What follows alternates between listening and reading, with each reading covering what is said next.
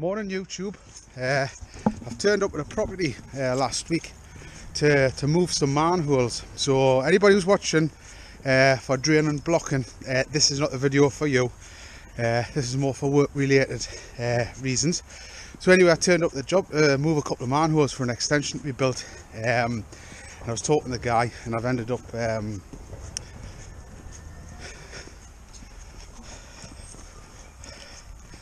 I've ended up getting the foundation to dig in the floor and change the drains. So I'll, uh, I'll talk you through what I'm, what I'm going to be doing. May as well video it.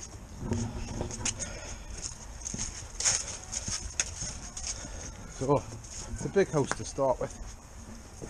This is a pin with a dig line on. It's going to be an extension, goes right the full width of the house. It's going to be an extension. It'll come off there. Foundation's going to come through here. Come in line here. These are the two manholes that I was originally here to move. I was going to move them out the building, move these gullies, kitchen gullies, to the back of the new extension. So, uh, guy was a bit pushed, so he's asked us to do the foundations and do the floor. So I'm back to being a ground worker for a week instead of a drain technician. I'll do another video. I'm back on that job um, where we're doing the extension. Uh, obviously if you're uh,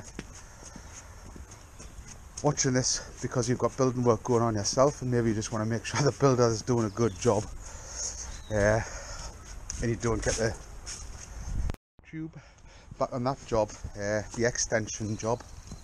Uh, got the foundations dug out now, waiting for the building inspector to come.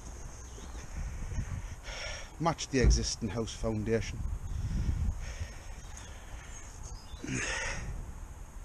That's a nice straight level dig.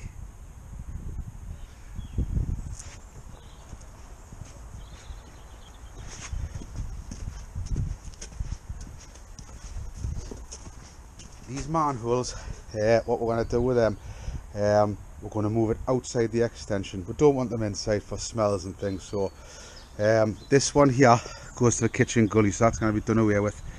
That pipe that you can see there goes under the building, that's the main sewer. It's only doing a gully. So that manhole we're going to move to the outside and then we'll put a gully on the outside of the building to replace the existing. This pipe you can see there is the storm manhole which was that little thing over there, Toby.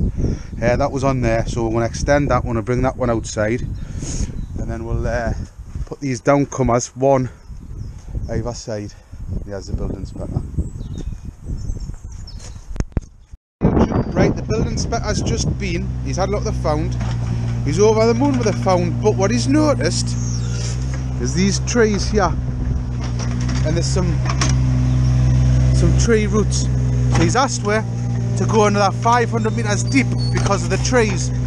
Now, he's right, you're supposed to go 500 deeper, no, depending on this type of tree. Um, but we had a, a, a survey done on the property and the trees weren't a problem but he's picked up on them uh, and he's asked me to go down another 500 and put 500 extra concrete in just on this corner. That's all where the roots are. Um, so that's what we're doing to keep them happy. Foundation complete now for the building inspector because we want to take it down to that 500 of the tree roots so that's where we're at now. Uh,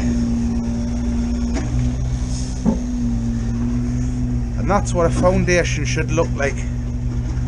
Nice straight sides all the way along and square. That's when you take a bit pride in your job. Job, the bricklayers are here now, but we've got the found in. That's it.